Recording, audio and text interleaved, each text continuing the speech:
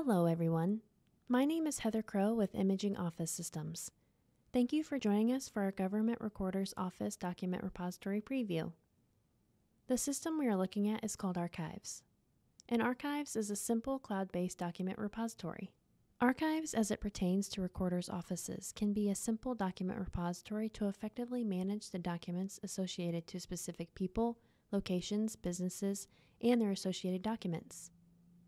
Archives will equip users with simple searching capabilities for quick document retrieval, fast response time on requests for documentation for users and citizens, and reduce the time spent looking for paper files, books, maps, surveys, and more.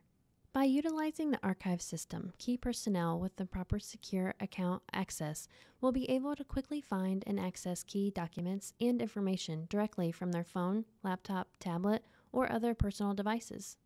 Archives ensures that confidential employee information is secure and accessible when needed. One last point to note. If you can't remember how a document is labeled within the system, you have full text search capabilities to search for specific terms or phrases to find the information you're looking for. Thanks again for checking out this Recorder's Office preview of the Archives document repository.